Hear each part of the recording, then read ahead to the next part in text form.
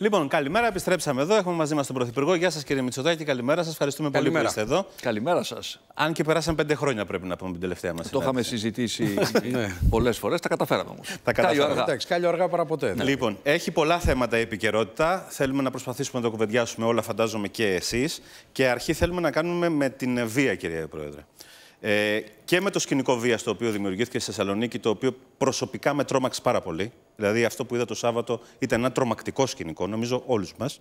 Και αυτό που έγινε την Κυριακή με τον πρόεδρο της Αξιωματική Αντιπολίτευσης, τον οποίο κάποιοι επιτέθηκαν στον αρχικό της Αξιωματική Αντιπολίτευσης, αλλά και το σπιράλ το οποίο υπάρχει στην κοινωνία. Μπορεί να μην καταγράφετε στα στατιστικά σας. Αλλά υπάρχει ανασφάλεια. Δείχναμε πριν στην Καλιθέα ε, την περιοχή που έσκασε βόμβα χθες. Είναι σε βομβαρδισμένο τοπίο.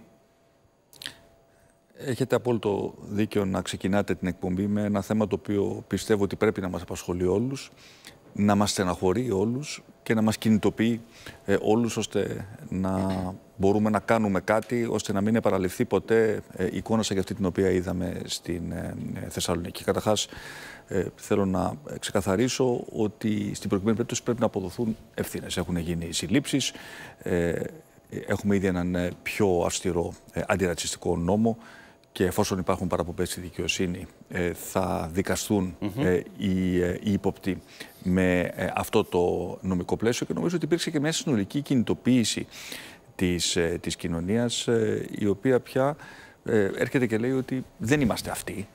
δεν μπορεί η Ελλάδα να είναι μια χώρα στην οποία κάποιος να μην αισθάνεται άνετα να κυκλοφορήσει στον δρόμο έτσι όπως θέλει να είναι. Αλλά από εκεί πέρα πρέπει να γίνουν και πολλά άλλα πράγματα. Να ξεκινήσω με τις πολύ σημαντικές παρεμβάσεις που κάνει η κυβέρνηση όσον αφορά στο bullying στα σχολεία. Διότι αυτό το οποίο νομίζω μας ανησύχησε όλους ήταν το γεγονός ότι υπήρχαν παιδιά 16, 17, 15 χρόνων που συμμετείχαν. Και έχει και καθημερινά σε, περιστατικά.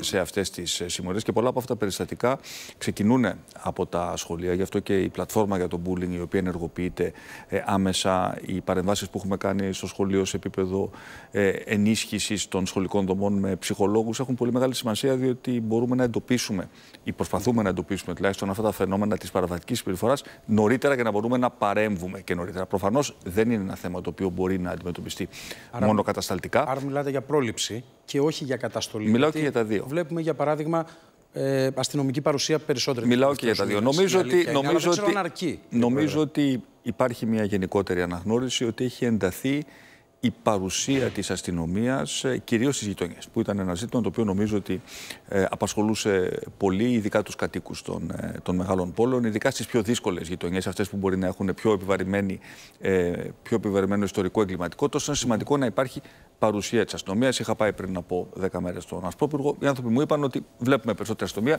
θα θέλαμε ακόμα περισσότερη, αλλά σίγουρα η παρουσία της αστυνομίας δρά αποτρεπτικά. Και βέβαια όσο ξέρετε, χρησιμοποιούμε την τεχνολογία για να απλοποιούμε ε, και την ε, σχέση του πολίτη με το κράτος, ε, μπορούμε να απελευθερώνουμε και αστυνομικούς από δουλειές γραφείων για να τους βγάζουμε στον δρόμο. Και αυτό ναι. τελικά είναι ο σκοπός. Έχουμε πολλούς αστυνομικούς στην Ελλάδα σε σχέση με την υπόλοιπη Ευρωπαϊκή Ένωση. Θα πρέπει να τους κατανοούμε πιο σωστά και να τους αξιοποιήσουμε με τον καλύτερο τρόπο. Αν δείτε όμως συνολικά τα στατιστικά στοιχεία της εγκληματικότητας και δεν αναφέρω μόνο τον τελευταίο χρόνο. Τα τελευταία χρόνια υπάρχει μια αισθητή βελτίωση. Αυτό όμως δεν αντανακλάται κατά ανάγκη, και είμαι ο πρώτος που θα το αναγνωρίσω, στο αίσθημα του πολίτη. Γιατί υπάρχουν κάποια μεμονωμένα περιστατικά τα οποία παίρνουν μεγάλη ε, δημοσιότητα και διαμορφώνουν γενικά ένα κλίμα το οποίο είναι, ας μην το κρύψουμε, δυσάρεστο. Και αυτά τα περιστατικά, κύριε Πρόεδρε, αφορούν και σε βομβιστικές επιθέσεις, τις οποίες τις βλέπουμε συνεχώς στο αστυνομικό δελτίο, και σε ένοπλες επιθέσεις. Δηλαδή. Κοιτάξτε όμως, υπάρχει, σίγουρα, υπάρχει,